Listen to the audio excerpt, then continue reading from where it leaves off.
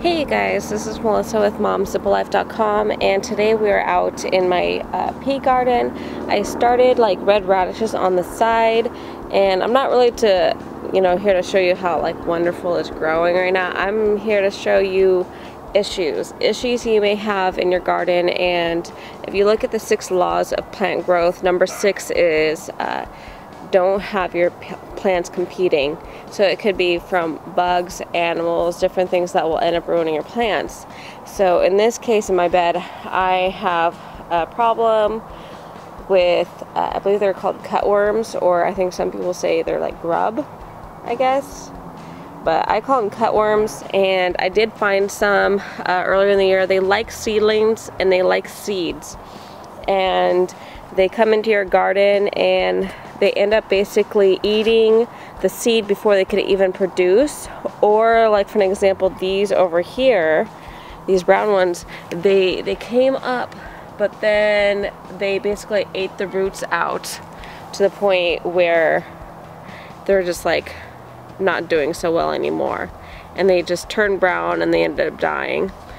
And a lot of these ended up not quite popping up and I went and dug up the seeds and I found that they just did not look so well and I did find quite a few cutworms uh, going through here. I didn't find any the last few days to be able to actually show you what they look like. You can really even see this one but it started actually growing here the roots but then the cutworm came and ate the actual seed part and then of course it stopped growing.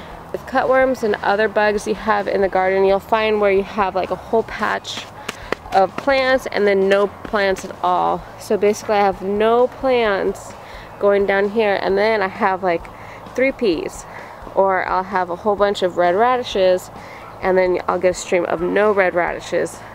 And then I found out what cutworms really like. I don't know what article I read it at, but they said that they love red radish seeds, pea seeds, and garlic. So I have garlic in the center, I have my peas, and then I have my red radishes. So this is basically the country buffet for any cutworms to come and eat everything I just planted. So, but uh, cutworms, they basically, they're not technically worms. They are caterpillar like larvae, uh, larvae, uh, and they'll turn into some type of moth. I'll put the picture up on the screen so you guys could see what they look like and what they turn into. But you could also just sit there and let it go and postpone planting seeds for a while because all the cutworms, uh, they're basically turning uh, into a moth and they'll end up going away because you know they don't live in your soil forever. And then another issue of having cutworms or any type of grub uh, I think they're called grubs anyways, is, I don't know if you could tell here, but that is soil inside of my sawdust and sand bed right here. And it's kind of really hard to see. I can't even see on this. So, and what happens is you'll end up having moles start showing up in your bed.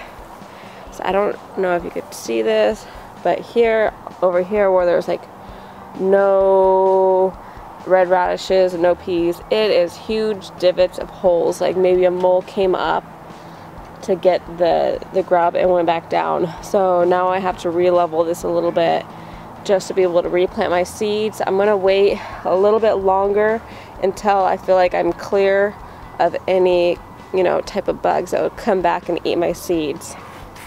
So another issue I'm having because I do have the grass still by my bed, we are going to get rid of it because we had a huge problem with bugs and uh, slugs.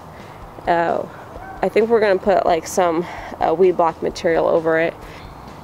I don't know if you see that. That's actually red radish. Red radish and it basically ate the whole top off of my red radish. Every single one. Okay. So it ate basically the top off of my red radishes. Cutworms will come above the soil at night when no one is basically out in their garden and after a rainfall and they will just basically cut clean through your plants. And so that's basically what's happened to a lot of my red radishes.